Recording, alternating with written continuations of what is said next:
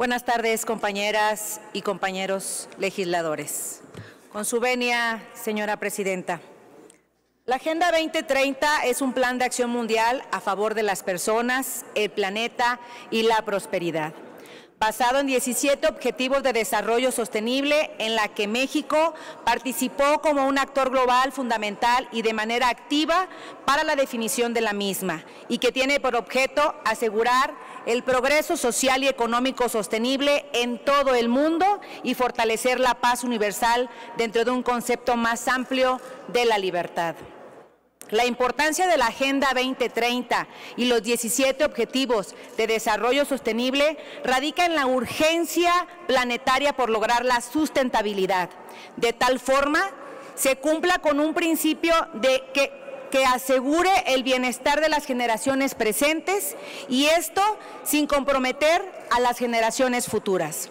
En ese sentido, las comisiones dictaminadoras buscamos establecer un marco jurídico sólido con visión a largo plazo, multisectorial y multiactor que garantice las condiciones idóneas para que el andamiaje institucional de la respuesta al nuevo paradigma de desarrollo sostenible incorpore en la Agenda 2030.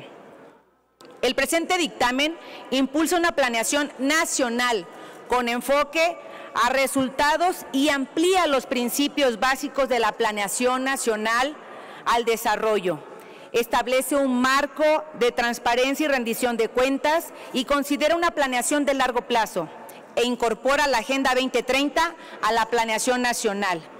Para ello, se modifica la Ley Nacional de Información Estadística y Geográfica que exista de manera permanente un comité técnico especializado encargado de evaluar y de dar seguimiento a los avances y cumplimiento de los objetivos de desarrollo sostenible.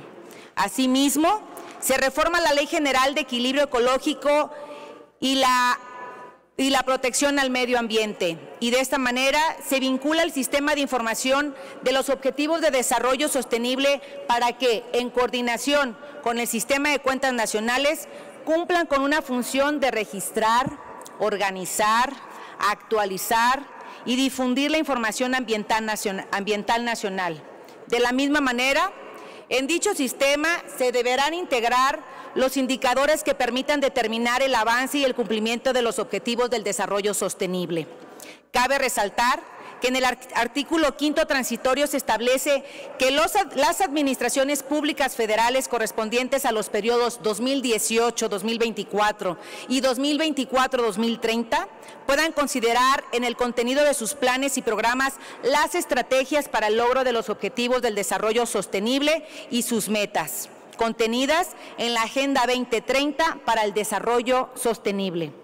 Para que esto sea posible en el proceso de la elaboración de los proyectos de dichos, planes, se considerarán las propuestas del Consejo Nacional de la Agenda 2030 para el Desarrollo Sostenible.